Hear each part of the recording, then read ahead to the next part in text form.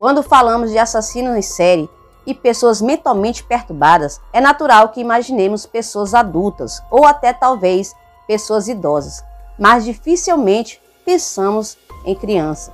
Ao olhar Robert e John pela primeira vez, você dificilmente acreditaria estar olhando para dois assassinos, porque as aparências enganam. Olá, fanáticos, sejam bem-vindos a mais um vídeo. E aqui quem vos fala é Ruth Macedo. Pessoal, já vai deixando aquele like e, claro, se ainda não for inscrito, se inscreva, pessoal, para não perder nenhuma história que trazemos aqui para vocês. E aí, já deixou o like? Já se inscreveu? Então, bora pro vídeo.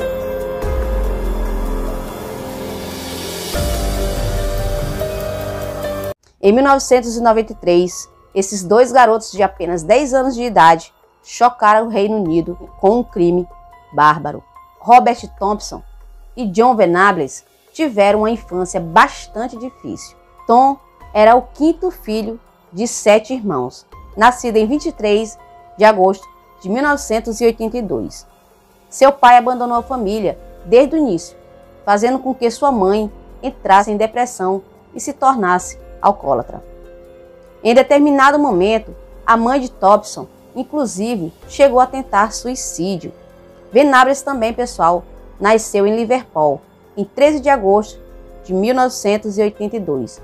Seus pais eram separados e, ainda que sua figura paterna estivesse presente, sua mãe tinha um comportamento bastante agressivo com o garoto. Ela também foi descrita, pessoal, como uma mulher que era vista frequentemente com vários homens diferentes. Thompson e Venables eram bons amigos, e ainda que de alguma forma fossem rebeldes, eles não tinham muitos problemas com a lei, exceto pequenos furtos. Mas no fatídico dia, pessoal, eles decidiram levar seus crimes a um nível muito alto.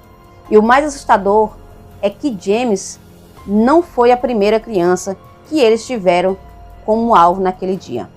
Primeiro, pessoal, eles tentaram afastar da mãe uma garota de 3 anos e seu irmãozinho, de 2 anos e meio.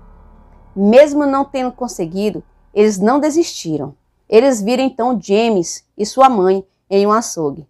Embora a mãe de James tivesse segurado em sua mão, em algum momento, pessoal, ela largou para pagar as suas compras. Foi quando então, né, os garotos decidiram pegar a criança.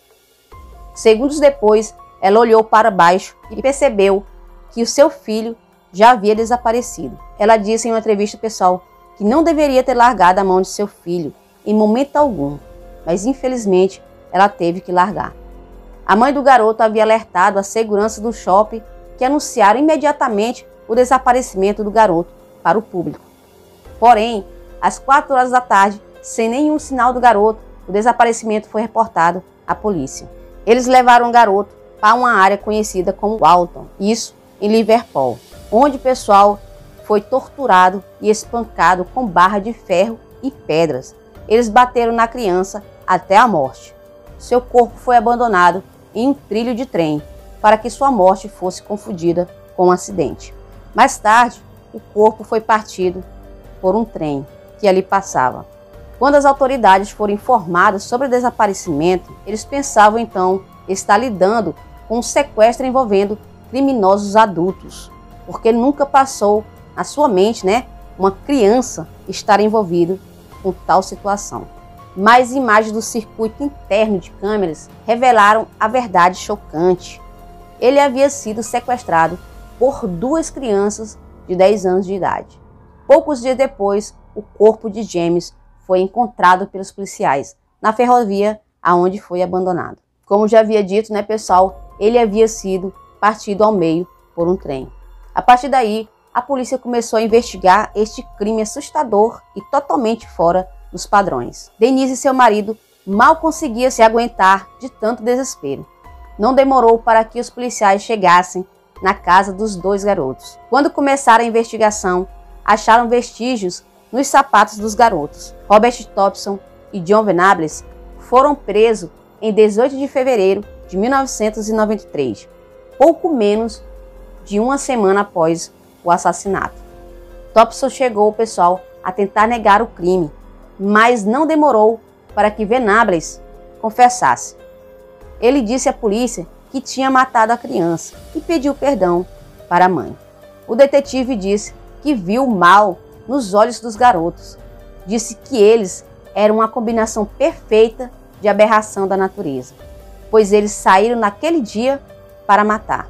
A linha de investigação passou a tratar Thompson como líder do crime, principalmente por conta do seu comportamento frio e imperturbável. Já Venables, por outro lado, se demonstrou ser mais emotivo. Em 24 de novembro de 1993, Robert e John foram considerados culpados pelo sequestro e assassinato de James. Bem merecido. Com certeza tem que pagar.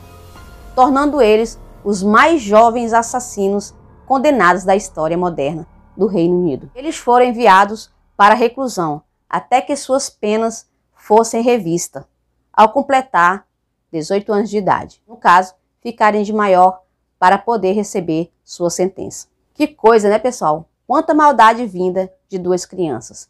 Por isso eu digo, todo cuidado é pouco. E é isso aí, fanáticos. Pessoal, se gostaram do vídeo, já sabe, deixa aquele like e se inscreva para estar nos acompanhando. Não se esqueça de compartilhar o vídeo para nos ajudar e, claro, deixar nos comentários o que vocês acharam dessa história, porque sua opinião sempre será bem-vinda. Fique com Deus e até a próxima.